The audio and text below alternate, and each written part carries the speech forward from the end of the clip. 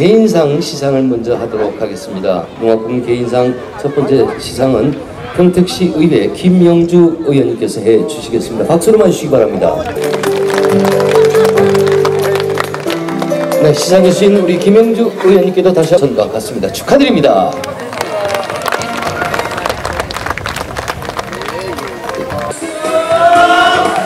상장 농악부문 대상 오선 산하 공무단 이하본안은 전과 같습니다.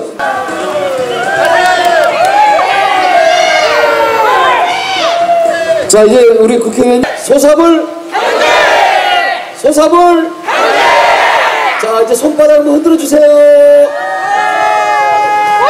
유승용 평택시 의회 의장님 참석하였습니다. 오중근 원장님과 임원님 함께 소개합니다. 정말 두 달 동안 고생 많으셨습니다. 오늘과 내일 소사벌 단오제를 통해 가족과 친구, 이웃과 함께 즐겁고 행복한 시간을 보내시기를 바랍니다.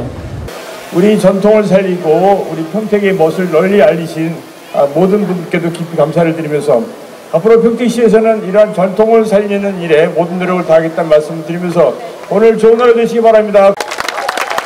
함께 해 주신 모든 분께 감사드리고 또 오늘 비 오는 데 중에도 농악경연에 참여해 주신 모든 그 11개 참여단체 분들께도 깊은 감사의 말씀을 올립니다. 네, 감사합니다.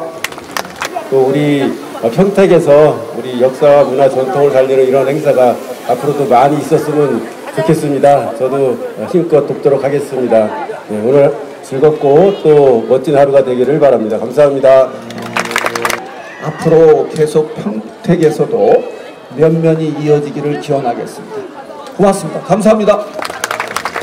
오늘 뜻깊은 날을 맞이해가지고 단어와 관련된 그런 뜻도 의미도 좀 되새기는 그리고 또 즐거움 함께하는 날 되시기 바랍니다. 다시 한번 축하드립니다. 고맙습니다. 이상으로 2024년 소사벌 단오제 개막식을 모두 마치겠습니다. 여러분 고맙습니다. 찌름 체험장이 또 있습니다. 아까 우리 평택시의 마스코트 평택이가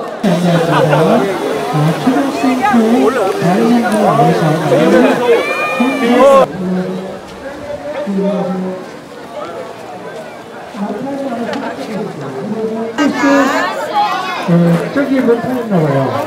반대 반대. 그 반대로. 아니. 잠수. 버려진 것 같아요. 버려진 것 같아요.